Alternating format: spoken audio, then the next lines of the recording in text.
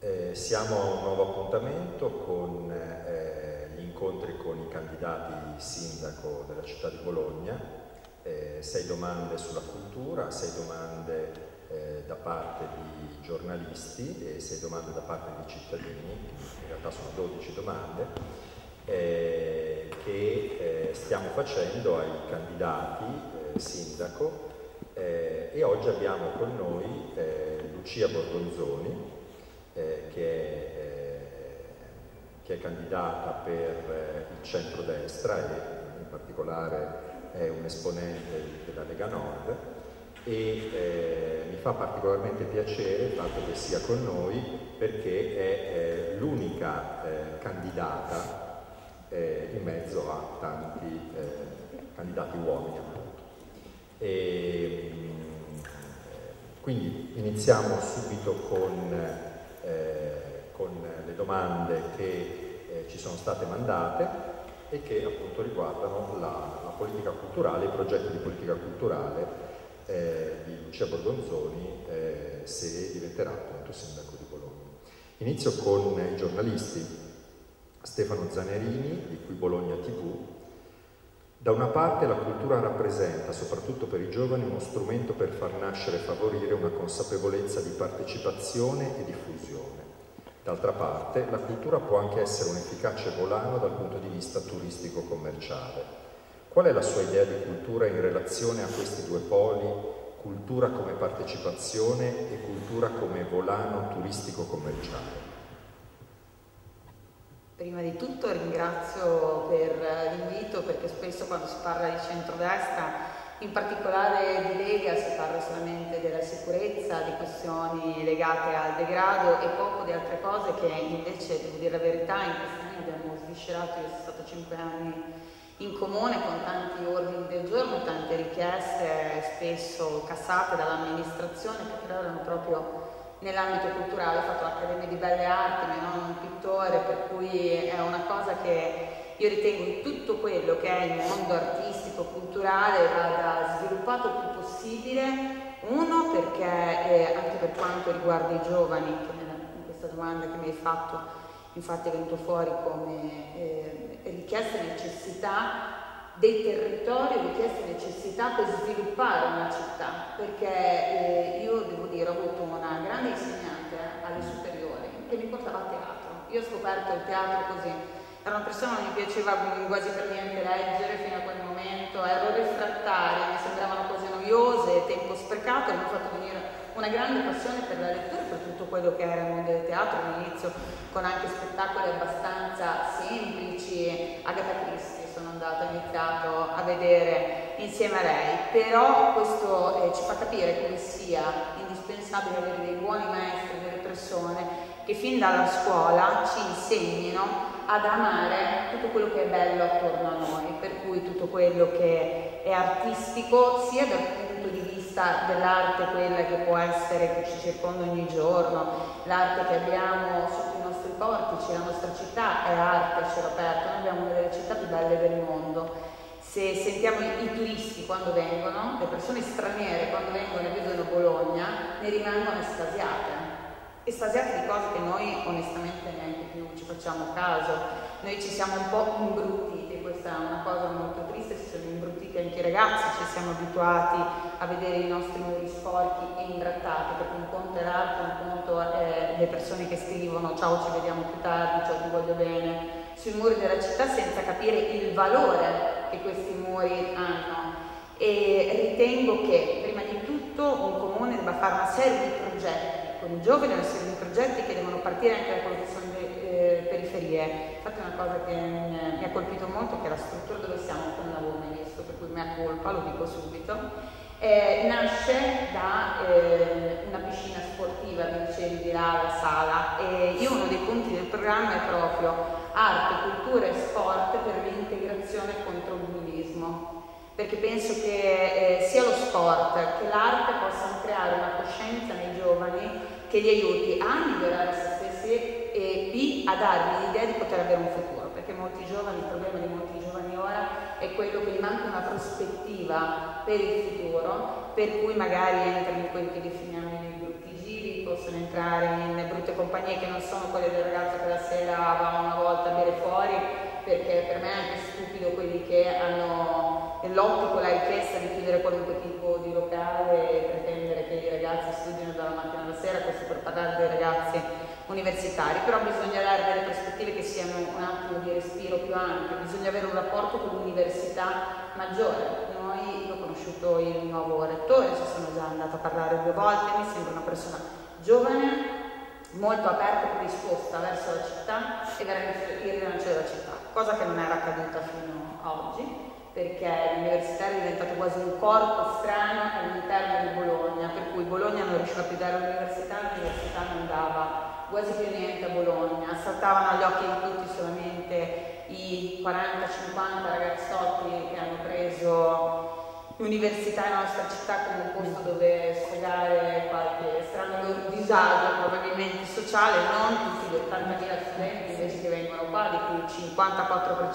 56% addirittura fuori regione, che vengono qua per trovare eh, quella città che penso i loro genitori e i loro amici dei loro genitori vi avevano raccontato come una splendida città, va ripresa tutta la zona universitaria, via Zabboni, così non va bene neanche quella delle persone che hanno esercizi commerciali in via Zabboni, per rilanciare il teatro bisogna assolutamente riprendere tutta quella zona, per cui ritengo che eh, sia fondamentale per chiunque vuole fare il sindaco capire tutto il patrimonio e valorizzare il patrimonio che abbiamo. È una cosa fondamentale, se uno non pensa che la cultura e l'arte siano fondamentali nel rilancio di qualunque città, ma soprattutto in una città come la nostra che veramente tanto, sono, io lo vedo anche qua in Italia, tante città che si devono inventare storie per cercare di valorizzarle, si devono inventare miti, si devono inventare di tutto e riescono magari a farlo sul niente,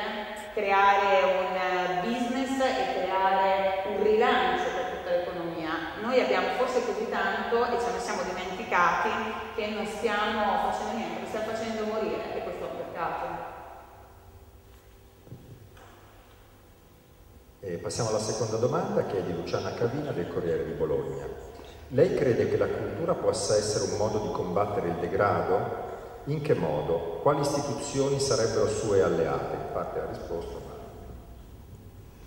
Sì, sicuramente il degrado eh, si batte con la cultura. Io ora dico una cosa eh, che spesso si, proprio parlando di degrado, cultura e eh, come tenere una città, possono sembrare slegate oppure quando le dico eh, molti eh, leggono solamente la parte teoria della finestra rotta, che è stata usata da Rudolf Giuliani per riprendere il Bronx, parte proprio da cultura e bellezza. Cioè ti dicono che se tu vivi in posto abbandonato, e sono studi che sono stati fatti per chi conosce un pochino tutta la teoria, quello di un'auto abbandonata in due quartieri, un quartiere tenuto bene, un quartiere tenuto male, e ti spiega come in una zona degradata e abbandonata il crimine aumenti sempre di più e da quello che può essere una finestra rotta può sembrare una sciocchezza, una cosa banale, si può arrivare ai grandi crimini. Per cui vanno riprese tutte le nostre periferie con dei progetti fatti proprio per i ragazzi e insegnargli quello che è la cultura. Però anche la cultura dell'ordine e di cercare di tenere eh, il più pulito possibile, il più ordinato possibile, il, l'ordine ad esempio anche tutto quello che può essere l'arte di giardini, non dicevo l'arte dei giardini cosa sarà, ma anche quello e cercare di rendere partecipi perché non devono essere cose calate dall'alto che arrivano a tanto dei soldi, il comune decide di destinarli con un progetto magari dato a due amici eh, senza parlarne con la gente che abita lì, senza condividerlo con la gente che abita lì, senza farglielo capire e senza usare il materiale umano che lì, che non vuol dire solamente la mano d'opera, ma anche le idee, perché spesso le grandi idee magari si hanno anche da quelli che vengono ritenuti più semplici dei ragazzi e magari si fa capire anche loro che dentro hanno tanto e magari così lo tireranno fuori anche in altre circostanze, per cui essenziale è quello che il comune lavori oltre che con istituzioni, enti, eh, quelli devono essere tramite, ma deve lavorare direttamente con i cittadini. E Brunella Torresin eh, della Repubblica. Nel caso di una sua vittoria, lei diventerebbe in quanto sindaco anche presidente della Fondazione Teatro Comunale di Bologna, la quale dopo l'università è la più grande impresa culturale cittadina per numero di dipendenti e volume di fatturato. Lei frequenta il comunale, il piano di risanamento prevede la riduzione del numero dei dipendenti e una trentina di posti di lavoro sono a rischio. Qual è la sua opinione al riguardo? Salvare i posti di lavoro ma sacrificare altre voci? Quali? Oppure sacrificare i posti di lavoro ma salvare altre voci, quali? Il comunale onestamente è da tantissimo tempo che non ci vado, l'ultima volta che sono stata a un teatro per le celebrazioni che sono andata a vedere Battiato è il Teatro Blues. E fondamentale è quello di salvaguardare i posti di lavoro, non si può pensare ancora di più in un momento di crisi come quello che sta vivendo, non tanto Bologna, tutta l'Italia, di mandare delle persone a casa follia. Noi siamo in questa situazione per scelte scelerate fatte negli anni eh, quando c'era il Tutino, eh, dove ci sono state scenografie prese a costi esorbitanti, abbandonate poi nelle cantine, per cui neanche riutilizzato o fatto girare per il mondo per riavere dei ritorni. Per cui ora la gestione che c'è ora è una gestione ovviamente che va in pari, perché ci sono dei buchi pregressi. Quello che dovrebbe fare il teatro è tutta una strategia di rilancio assieme al turismo. Allora, prima di tutto va rilanciata Piazza Verdi, perché finché abbiamo una Piazza Verdi come ora, e lo dice una persona che ha studiato all'università in Piazza Verdi, mi sono seduta anch'io, ho bevuto anch'io la birra, la mia bottiglia la prendevo e la buttavo via perché mi ha insegnato la mamma, non so le persone che ci stanno ora, gli abbia insegnato a comportarsi così. C'è un rilancio essenziale che va fatto insieme sempre quando ho parlato con il rettore, ora non so se oggi o in questi giorni arrivano il principe e la principessa del Giappone, mi hanno detto non so, vengono qua, vedono Piazza Verdi così, è l'unico posto che vedono gli Zamboni, Piazza Verdi, quella zona, dite se poi dopo può esserci un rilancio, cioè allora andare in Giappone e dire è bellissima Bologna, invece di vedere Piazza Maggiore o altre zone che comunque sono più curate, perché è un po' la strategia di questo comune è stato curare poche zone e che anche ora è saltata in parte anche quella, per curare poche zone, mettere la polvere sotto il tappeto nelle altre, però la polvere ormai si sta spandendo per tutta la città. E una serie di iniziative di marketing per vendere dei pacchetti su Bologna, in cui mettere all'interno anche i teatri,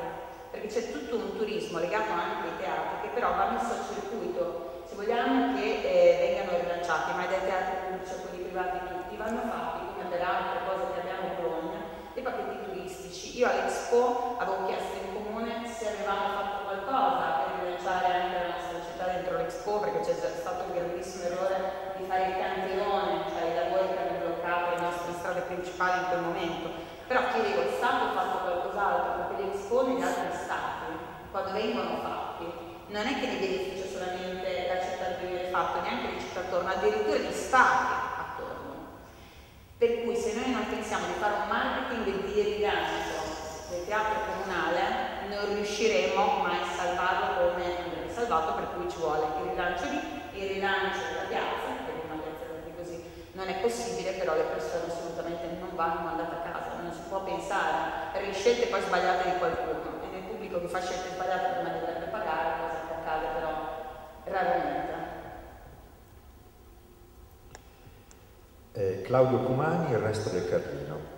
Ha dichiarato di aver lavorato come barista molto tempo fa all'INC, storico centro sociale cittadino. Che opinione ha oggi dei centri sociali e soprattutto a quali politiche culturali giovanili pensa, visto che la popolazione di Bologna è in misura considerevole formata da studenti universitari fuori sede? Sì, ho lavorato all'INC, questo ormai l'ho detto già cinque anni fa, ogni tanto risalta fuori. Perché avevo vent'anni, però onestamente io il link quando l'ho vissuto, anche il link anche ora è una realtà un pochino diversa magari dei restanti centri sociali cittadini. Non, era un posto dove c'era un gran fermento culturale, ora i mutoid sono passati da lì, costruivano lì le loro statue, che c'è una anche in una rotonda qua in città, c'era un fermento sulla musica, la sperimentazione della nuova musica, le radio comunque che trasmettevano da lì erano radio che erano un pochino più lontane dal politico, quello che voglio dire, io quando giravo lì sapevano tutti che ero della Lega, nessuno ha mai avuto problemi perché ero della Lega. Io non ricordo nessuna di queste persone che mi abbia detto andiamo in centro, infatti non avevamo la città bloccata ogni due giorni, o manifestazioni dove c'è qualcuno che lancia addosso alle forze dell'ordine. Nessuno me l'ha neanche mai chiesto una cosa del genere, mi ha mai detto andiamo a fare questo. Erano posti dove si discuteva, c'era quell'arte magari che è un'arte giovanile o l'arte eh, in cui una città come Bologna, è una città un pochino legata al passato, non era abituatissima e questo è una cosa, allora se uno dice ci sono spazi e hanno bisogno i giovani di spazi per potersi esprimere, sperimentare una cosa, se i giovani prendono degli spazi per fare mero business oppure per concorrenza sleale agli altri, oppure per organizzarsi, per andare a mettere a ferro fuoco la città, questo non può esistere. Ma mh, mm, non penso neanche serva niente ai ragazzi che vengono messi dentro, per cui che il comune togliere queste cose non è accettabile. E siamo alla quinta domanda di Leonardo Onesti dell'ANSA. Ritiene opportuno che associazioni che svolgono un lavoro culturale seguito e riconosciuto godano della concessione in comodato gratuito o a canoni fortemente ridotti di immobili di proprietà comunale e quindi, se diventerà sindaco, confermerà al netto dei casi specifici il principio che sta dietro le tante convenzioni attive anche a scapito delle casse comunali oppure preferirà percorrere altre strade che assicurino maggiori entrate per il bilancio del Comune di Bologna? Partendo dal presupposto che tutto deve passare da bando perché se, altrimenti entra e subentra una soggettività che può ledere eh, anche involontariamente qualcuno che fa eh, dei progetti buoni che magari a me, a mio giudizio personale, eh, non piacciono, per cui se dovesse entrare il mio giudizio magari lo do a te e non a lui, non su un punto di vista totalmente oggettivo. Però certo chi fa qualcosa per la città deve avere degli spazi a prezzi calderati, degli spazi, si può arrivare anche a avere spazi gratuiti, però deve essere qualcosa realmente per la città. Per il momento dico uno su tutti, è una grande polemica che abbiamo fatto sempre sul tasso. Allora, se l'arciere, l'arcilesbica dice c'è bisogno di uno spazio per fare il telefono per i ragazzi che subiscono, magari hanno dei problemi a integrarsi spazio loro, come lo posso dare al telefono duro, come per una discoteca, come ho detto prima, perché ti hanno sotto del cazzo, è una discoteca, che fa concorrenza sleale alle altre discoteche che pagano l'affitto, non capisco perché non debba pagare. Allora fa un bando e paga come tutti gli altri. Poi che vadano tutelate tutte le realtà, io ad esempio uno dei eh, progetti che avevo chiesto che il comune facesse è in una serie di negozi, una serie di negozi in aree che sono tra virgolette depresse, nel senso nessuno li prenderebbe mai perché sono isolate, sono in zone non appetibili. Avevo chiesto di fare delle zone franche, urbane, dove fare eh, all'interno di questi, per cui detassate totalmente, dei temporary store, però dove i ragazzi potessero presentare dei loro progetti da collegare con tutto quello che sono anche le aziende, le imprese del territorio e non solo. Per creare, eh, per dire, un anno la zona urbana è quella, per cui la rilanci, così rilanci sia il patrimonio del comune, sia rilanci il prezzo di tutti i negozi, di tutte le abitazioni che sono lì, sia dare spazio a dei giovani per poter esprimersi e poter vendere, tra virgolette, il loro progetto che può essere anche un'idea, a magari un'azienda privato che lo può promuovere. E passiamo alla domanda 6 che è stata anticipata di Davide Turrini di fattoquotidiano.it. Lo stereotipo a livello culturale del leghista risulta fin dai primi anni 90 una sorta di troglodita, volgare e rozzo, che adora solo i cinepanettoni una volta all'anno a Natale, non va mai a teatro, in una libreria o in un museo e al massimo ascolta qualche strofa di aria di provincia, preferibilmente in dialetto. Come aggira lei questo stereotipo? Come vive i suoi consumi culturali nella città di Bologna? Nella fattispecie, quali sono stati gli ultimi tre oggetti culturali consumati che ha apprezzato e perché? Per ultimo, al contrario, qual è invece l'ultimo oggetto culturale che non le è piaciuto e perché?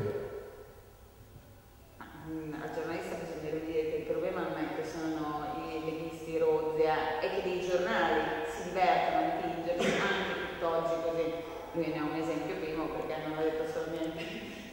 una persona lontana dalla cultura ma sfogata sempre quasi delle sue riflessioni personali. Allora, gli oggetti, quelli come li definisce lui, culturali, che gli ultimi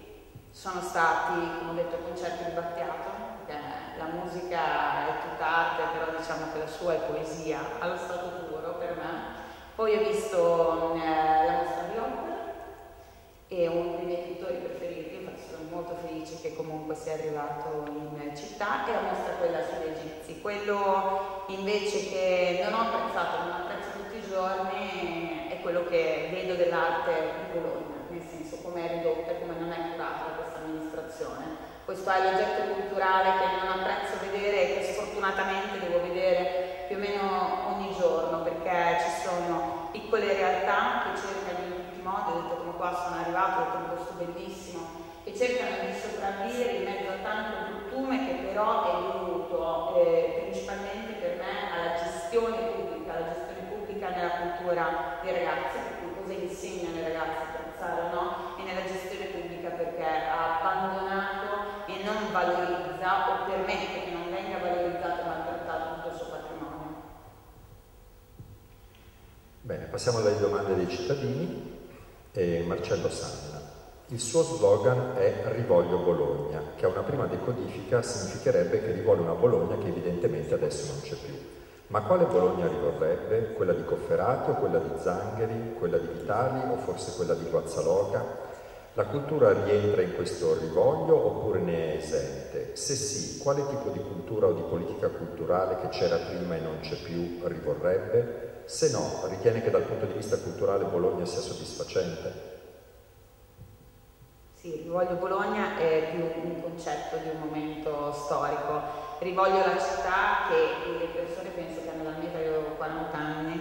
in su hanno vissuto, cioè quella città dove si era sereni a girare, molto legato rivoglio alla sicurezza, a quello che noi eravamo abituati a fare, cioè io ero abituata a stare in una città dove mi sentivo tranquilla, dove girare per strada era come ora eh, la stessa situazione che posso provare a girare in casa, nel senso era tutta una grande casa Bologna. Io rivorrei quello, era una città molto più viva anche dal punto di vista culturale, ma dei locali, qualunque cosa, cioè Bologna è la città degli assanotte, della gente che sta fuori tutta la notte, cosa che ora è difficilissimo da fare, si sono creati molti attriti anche fra i cittadini e quello che può essere il mondo culturale, il mondo notturno, che non c'era prima, c'è stata una rottura che va assolutamente risanata e, ricucita. Sicuramente Bologna nel rivoglio ci sta parzialmente la cultura perché non è mai stata valorizzata come doveva essere valorizzata, per cui dire un rivoglio della cultura voglio qualcosa di nuovo, voglio una, una cultura portata a quello che meriterebbe la nostra città. Il rivoglio sarebbe sbagliato perché non è mai stata valorizzata quando invece sarebbe necessario farlo.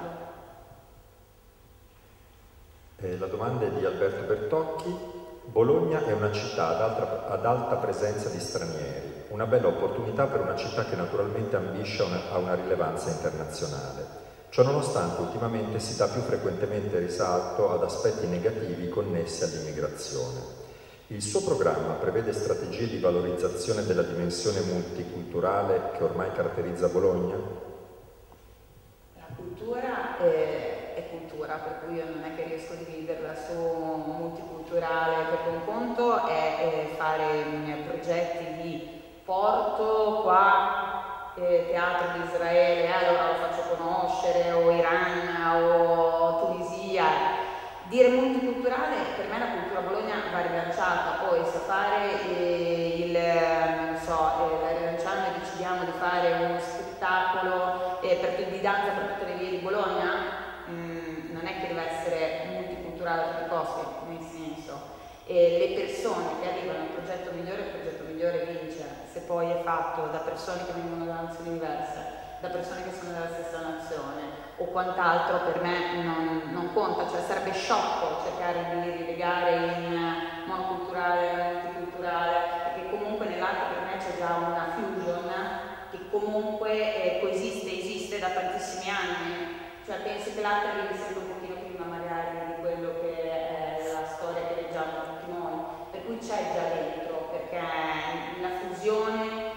varie culture è più o meno in dai dipinti alla musica, a tutto, non c'è più questa divisione. Quello che degli stranieri si parla principalmente delle cose negative, vabbè, è quello ma perché si parla di criminalità, loro sono è tutto un altro mondo, gli stranieri ce ne tantissimi qua che lavorano, sono bravissime persone, ovviamente fanno meno notizia, ma quello facciamo meno notizia tutti noi, io vedo anche i politici per bene, fanno molto meno notizia fa notizia, anche se in realtà è una grande notizia ormai ultimamente. La terza domanda è di Silvia Napoli. Qual è il ruolo delle fondazioni in questa città? Quanto e come sono in sintonia con le pubbliche istituzioni? È vero che svolgono una programmazione culturale pro domo loro, come sovente si è provato a considerare l'assessore uscente?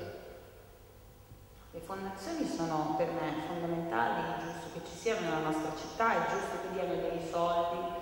la cosa però che bisogna capire è che la fondazione non può essere solamente un posto dove andare a attingere, eh, sono in crisi, è andato male tutto, ho bisogno di soldi, vieni dammi i soldi, poi però non ti spiego dove li metti, magari li metto in sceneggiature super costose che stanno in una cantina. Per cui con le fondazioni bisogna fare dei progetti assieme e dire ok, tu mi dai i fondi, è giusto che li diano questi, questi soldi,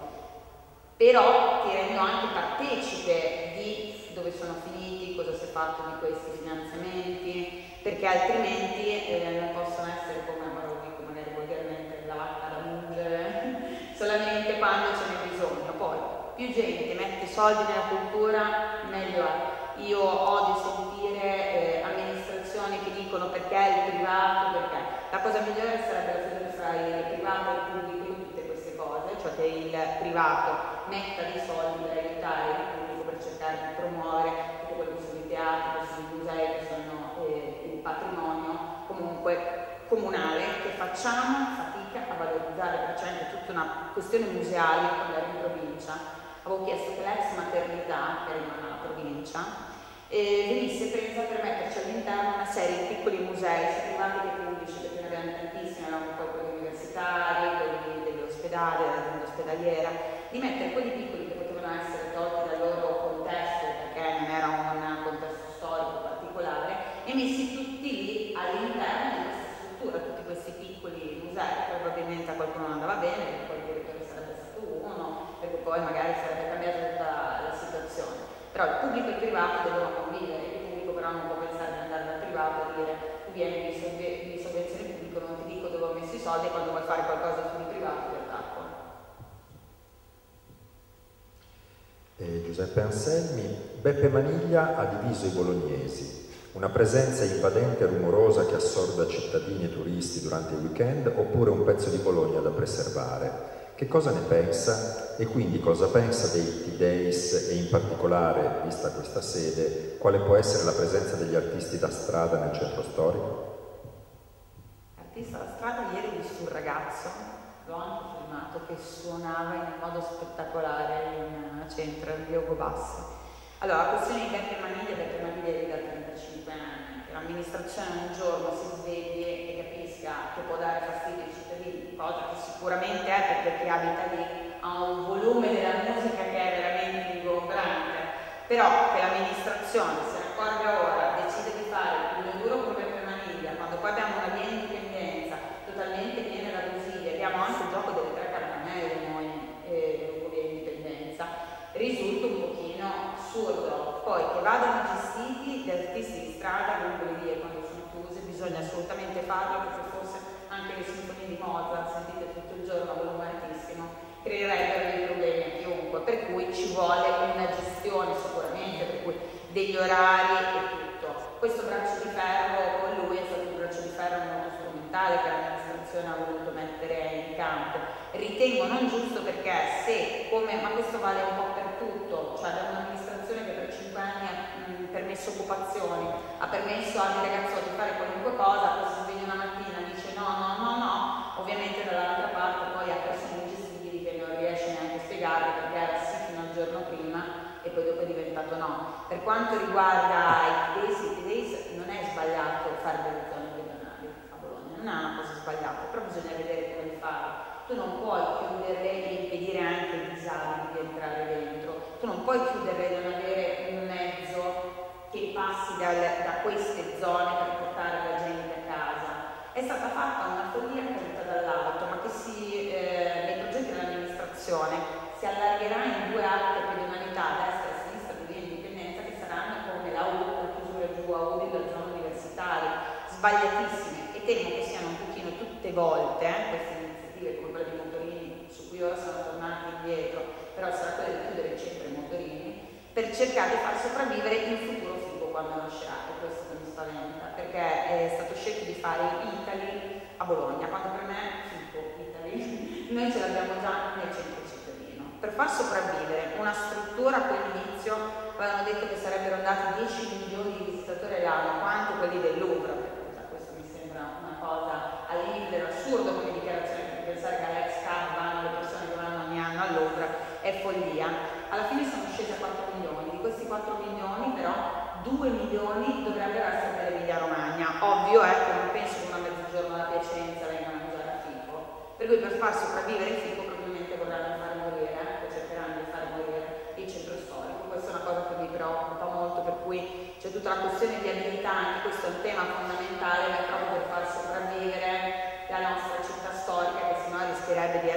svuotata totalmente e bisogna dire che le attività commerciali, i ristoranti, i locali servono anche contro il degrado, per cui più sono aperti con una gestione giusta del rumore e tutto, più una città è sicura. Eh, Livia Rastelli, si è appena conclusa la call del bando ERT per il nuovo direttore dell'Arena del Sole. Secondo lei che tipo di personalità dovrebbe guidare il maggior teatro di Bologna? Crede nelle istituzioni guidate da persone del territorio o pensa sia possibile affidarsi a uno straniero? Avrebbe un nome per quell'incarico? Il nome, anche se l'avessi, non lo farei mai perché, come ha letto da quello del Fatto Quotidiano, verrebbe massacrato immediatamente, gli metterebbero subito un marchino addosso, per cui sicuramente non si può fare. Io penso che in generale il territorio, ma in generale ha personaggi grandissimi, per cui questo di essere esterofili a tutti i costi, come se qualcuno arrivato dall'estero possa portare qualcosa di meglio, di innovativo di un italiano, per me è sbagliatissimo come concetto. Poi si fa un bando e dicono estero non è che a tutti i costi non lo deve essere, però cerchiamo di essere meno esterofili, come se gli illuminati dovessero venire da fuori, perché ricordiamoci quando parliamo della fuga all'estero, che in realtà all'estero le persone, quelli che sono dall'Italia, per cui cerchiamo di tenere qua in tutti i modi queste persone.